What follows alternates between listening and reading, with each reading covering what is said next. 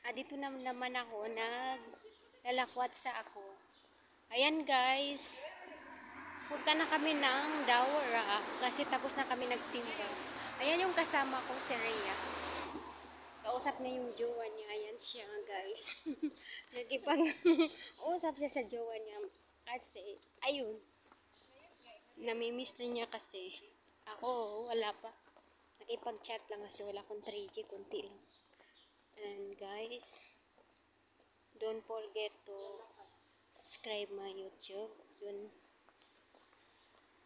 Sobrang init oh. Makasira ng beauty. Pero it's okay, never mind. Hindi ba? Iubo kong tinanaw sa mga tao. Ay, daghan yun sa sakyan. Ayan. Patayin daw nila. Ayun guys. Punta kami ng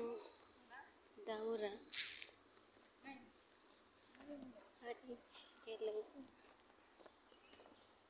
Ayan yung pusa. Nagkamang-kamang. Nagkamang-kamang. Ayan si Rhea. Ayan na. Yung asa kasama ko. Nagkuha ng headset. Ayan.